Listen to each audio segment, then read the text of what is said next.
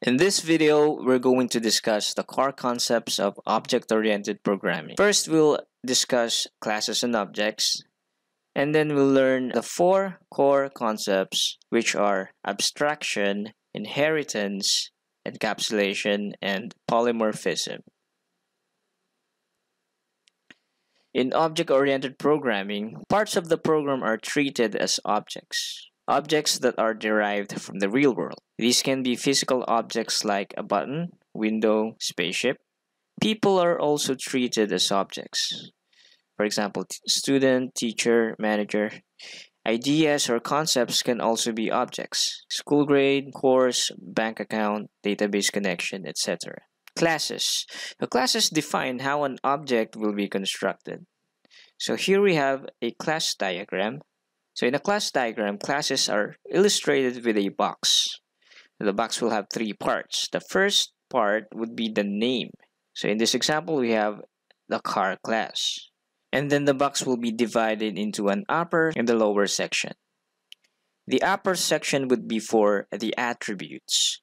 Attributes are data that a class contain, properties that make up the class, or information about the class. The lower section would be for the methods. Methods are the class's behavior, actions that the class can perform, events that may happen to the class, or a reaction to other classes. Attributes describe a has relationship with its class. So the car has a brand, the car has a model, the car has color, the car has speed. On the other hand, methods describe a can relationship with its class. So the car can start, the car can accelerate, the car can stop. So here we have another class called player. The player has attributes and methods. The player has name, it has spawn location, it has skin, player has level, player has HP, and player has MP. Player can start, player can attack, player can die, player can respawn, and player can use whatever object, like a weapon maybe. Objects. Our program will not interact directly with the classes. Classes are used as blueprints on how an object will be created. Just like in construction, the blueprint contains the plan on how something is going to be built. The actual house will be the object.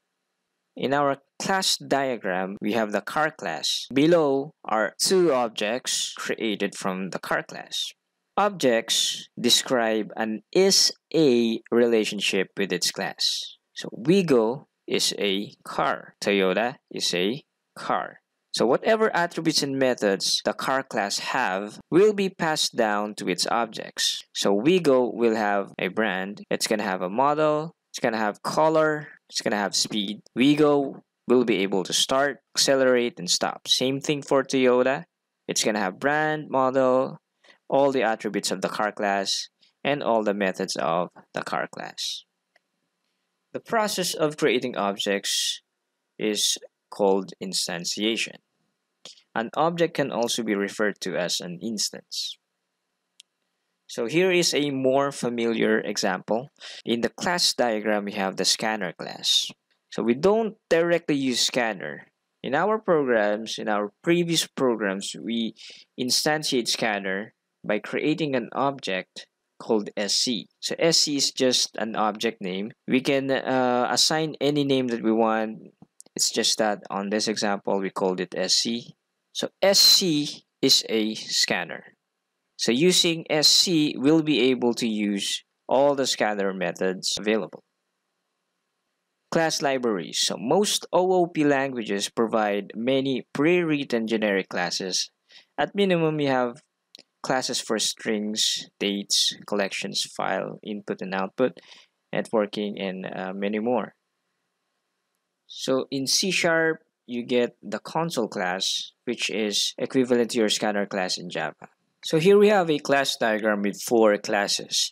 So we have the main class, student class, teacher class, and the room class. These three classes have the same attribute which is the name.